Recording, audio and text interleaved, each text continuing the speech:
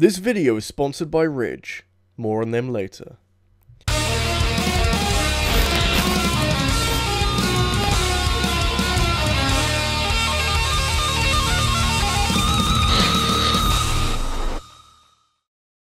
I really don't envy those people tasked with making video game sequels. It's hard enough to make a game with low expectations, but when you're developing a follow-up to something that will form a direct comparison to whatever you can come up with, then you better hope that you don't screw it up somewhere along the way. It's a bona fide miracle that any sequels are any good, let alone in a way that justifies its very existence by being an improvement on the first game, and with the recent glut of underwhelming sequels, I'm feeling an urge to highlight the more positive side of things. The best sequels aren't just great games, they improve on the original in a way that expands the scope of the game's world and marks itself as the quintessential title within its own franchise. You know, really easy stuff. Effectively, the best sequels out there make the original game fairly redundant and pointless, which is quite a hard thing to do, but if I can find enough games that do that, it's going to be pretty valuable for this video. It kind of reminds me of how the, the sequel to the old leather wallet that fits in your back pocket and is really massive has dropped recently, and Ridge are out here making like these amazing, stylish front pocket wallets that are so strong, they laugh in the face of chainsaws. Like, have you seen a horror film before? No one laughs at chainsaws! Don't tell me that you're still keeping your big chunky wallet in your back pocket like some kind of cave person. I myself have long since leapt into the future thanks to today's sponsors Ridge, with their incredibly sturdy wallets that are available in more than 30 colours and can hold up to 12 cards that you can now carry around in your front pocket with a bit of style. When I say that these wallets are sturdy, I mean that they're resistant to chainsaw attacks, and I'm sorry, but your leather equivalent is being turned to pulp in the same situation. Plus, Ridge were also kind enough to send me their waterproof commuter backpack with shock-resistant laptop holder and an external USB port for on-the-go charging, and now it's slightly safer to go outside, I'm gonna be using this quite a lot. Ridge comes with a lifetime warranty, so you can buy one wallet for the rest of your life if you so wish, with a 45 day return window for a free refund if you're not such a fan. Also, Father's Day is coming up and the Ridge wallet makes a great gift. Make sure you check out the Father's Day guide on the site and find the best gear for your dad. You can get 10% off today with free worldwide shipping and returns by going to ridge.com forward slash rabbidluigi and using the code rabbidluigi. That link is also in the video's description if you don't fancy typing all of that out. It's time to move your wallet into the future. Alright, I guess we need to talk about some sequels now. And how best they are.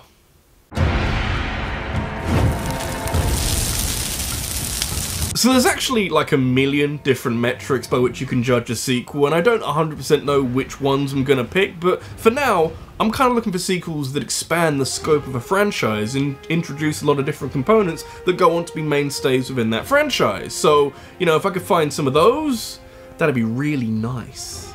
There have been a lot of franchises over the past decade or so that have started reasonably well, but have exploded in success and quality with their second game. That makes my job difficult, because I want to talk about only one of them, but when I've got Mass Effect, Assassin's Creed and Borderlands, just to name a few, it's some fierce competition with no clear winner.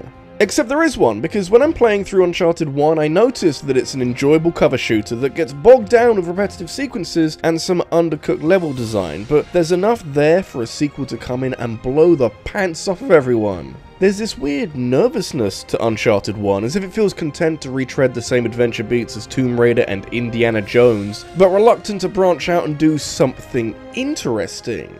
Hey, don't worry about it, Nathan Drake wakes up in the wreck of a crashed train in all sorts of trouble. This game gonna be fun.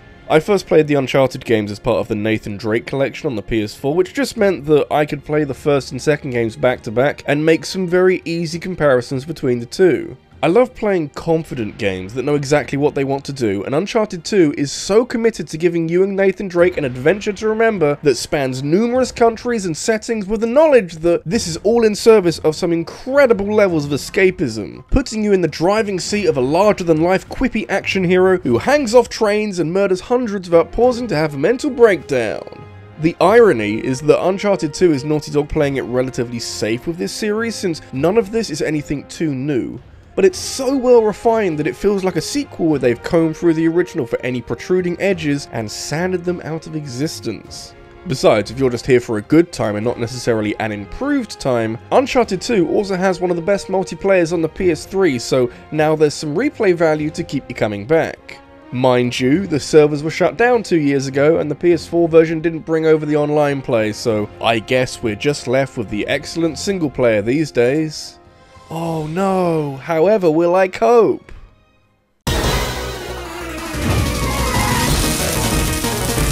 When a franchise doesn't use conventional numbering, everything is a sequel. Things get a tad complicated with Nintendo IP since most of them carry their games forward in a continuous stream without clear sequels. Would you honestly describe Super Mario Galaxy as a sequel to Super Mario Sunshine when the games are distinctly different in gameplay, design, tone, and aesthetic feel? Nah, that'd be stupid, and so I'm left to look for more organic sequels in Nintendo's library, and rather inevitably, I land at Pokemon, which yes, has a lengthy chronology of games that follow one after another with theoretically improvements being made every time, but not many of these are directly related. Black and White 2 would be easy candidates, but in reality, I don't think they're massive improvements over the originals, or at least not by enough to warrant talking about them. Pokemon Gold and Silver, though, as sequels to Gen 1, are slightly more justified, since Game Freak clearly wanted a second go at creating a Pokemon game, and given how many glitches there were in Red and Blue, can you blame them? I know that criticising Pokemon is the fun, trendy thing to do at the moment, because of course, the biggest critics of Pokemon are the fans themselves, but Gen 1 deserves a lot of credit for introducing Pokemon to the world, and for the most part, getting it pretty much bang on. All you need to do is evaluate it sometime after the fact and see where improvements can be made. It's like a director's cut.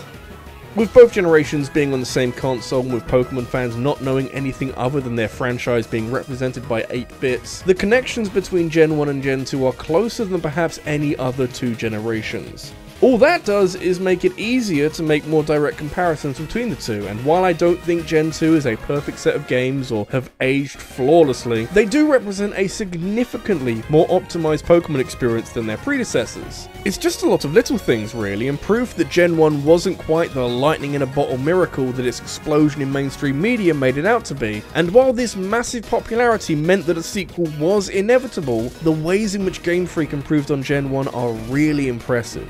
Most of the glitches have been ironed out, key tweaks to the game's balancing came at just the right time, and the decision to somehow squeeze a victory lap version of Kanto in there can only be described as inspired.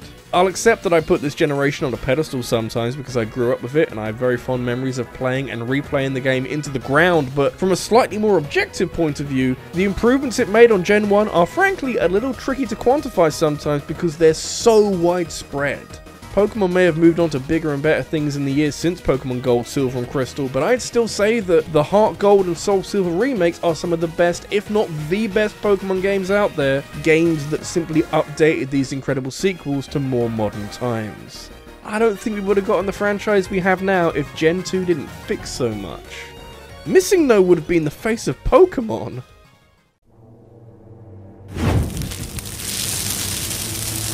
I will be surprised if Overwatch 2 turns out to be a pretty spectacular sequel. And while I can see what Blizzard are trying to do by focusing on PvE and trying to revitalize their player numbers, uh, I think there's a long way for them to go, and I don't think the change will be radical enough for players to flock back in the millions that they want.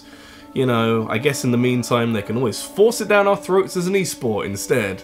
And that should be a concern for Blizzard because Overwatch 2 really does need to be dramatically different in order to convince people to invest a large amount of their time into this multiplayer experience in a way that they didn't quite manage with the first game. Since comparing Overwatch to Team Fortress 2 is a thing that people used to do all the time, maybe it's worth pointing out how incredible TF2 is as a standalone game and as a sequel to a completely different type of game?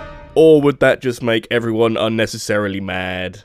it's the internet, you're all unnecessarily mad. Don't worry though, I'm not going to be doing it for much longer because it is interesting to compare Overwatch with TF2 and how much the qualities of each game at a particular time has put one game on top of the other. When Overwatch first came out, all the comparisons threw shade on TF2, but now that Overwatch is winding down, suddenly TF2 is looking pretty spectacular again. Joke's on you though, TF2 has always been spectacular. Maybe not always, though, because current day Team Fortress 2 is definitely a little less exciting and well supported than it was in its heyday, but the legacy this game has as a crucial cornerstone of free to play multiplayer shooters is 100% undisputed. Class-based first-person shooters are a dime a dozen these days, but 2007 was a different time when there really weren't many, if any, games out there with this level of personality and an eye for detail that would take the rest of the industry roughly a decade to catch up to. On its own, Team Fortress 2 is an outstanding achievement for Valve that has spent virtually its entire existence among the top played games on Steam, but when compared to the original Team Fortress, the difference is night and day. Valve went silent on this game for six years after initially showing TF2 at E3 1999 as a more realistic top-down RTS, and I don't know what happened in the early 2000s that changed Valve's mind on how to approach this sequel, but holy shit!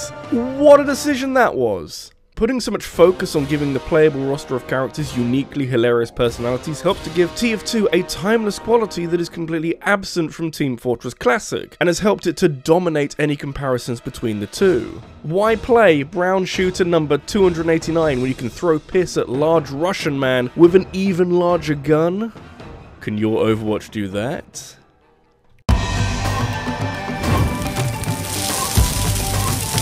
The sign of a great sequel is being surprised to hear that a game came before it, even if there's a number at the end of its name. That sounds really counterintuitive because of course a sequel has an original game, but when the sequel is transformative to the point of consuming every trace of that first game, it's an easy mistake to make. The first Street Fighter game is a very basic fighting game that you should all play at some point just so you can see for yourselves how far this franchise has come since 1987, and especially the absolute chasm between itself and its sequel made four years later. Capcom realised that the 6-button version of Street Fighter 1 was significantly more popular among arcade players than the original cabinet, with fewer buttons, and so built Street Fighter 2 from the ground up to incorporate this control scheme. Evidently, it worked pretty well, because I don't think many people remember that the original Street Fighter exists in favour of the spectacular franchise that spawned from its sequel. You know, minus the usual Capcom fuckery.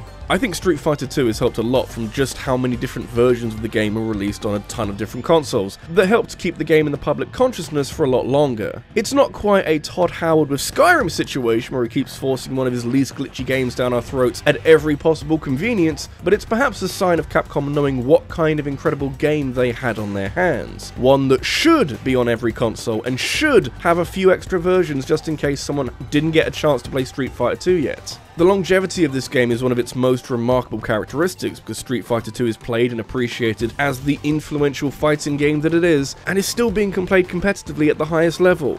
And hey, I know the first game isn't a complete train wreck or anything, but could you honestly say any of that applies to this as well? Anything good about this franchise was spawned from the sequel and can be traced back to Capcom getting everything so right at the start of a decade when they got quite a lot of things right. Certainly went better than Captain Commando.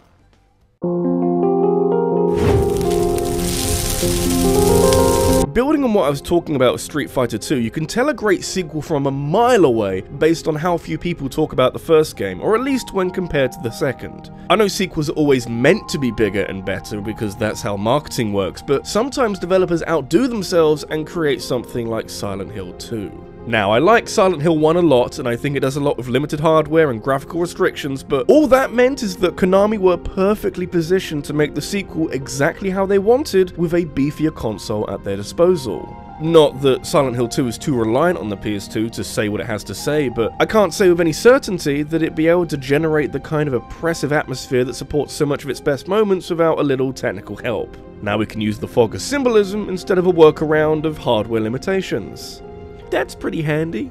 Silent Hill 2, to me, is pretty much my go-to when I think of horror games at their most effective. Dripping in creepy ambience to keep the player in a heightened state of suspense coupled with deliberately awkward controls so that you can never feel comfortable and in control of any situation, and while you can definitely attribute a few of these characteristics to the original as well, Silent Hill 2 works as much more of a complete perfect storm of the best tropes that horror has since morphed and run into the ground in the succeeding decades. The legacy of Silent Hill's sequel is one of heavy symbolism and powerful horror, but also the introduction of Pyramid Head as one of the most terrifying monsters in all of gaming, and rightfully one of the most iconic too. It's far from flawless, and there's definitely a section of players who won't appreciate how awkward some of the game design is at times, but as a landmark of horror and a sequel to the first Silent Hill, this is as good as it gets.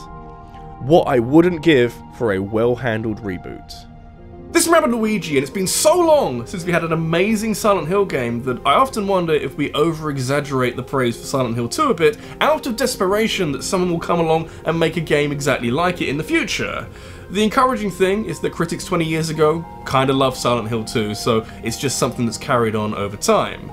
In the end, this is a franchise that peaked too soon, and everything that followed Silent Hill 2 ranged from being kinda good to very, very average and mediocre. The real horror was the franchise we lost along the way.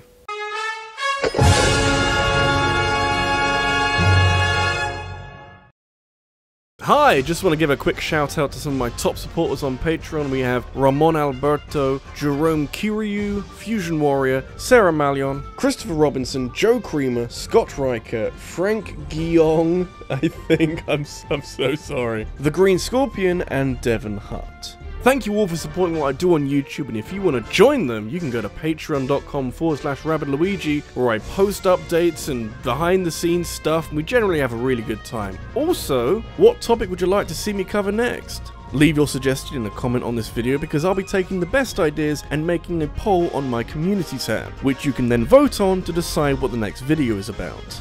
I'll be announcing the winner of the poll over on my Twitter, so make sure you follow me so you don't miss out.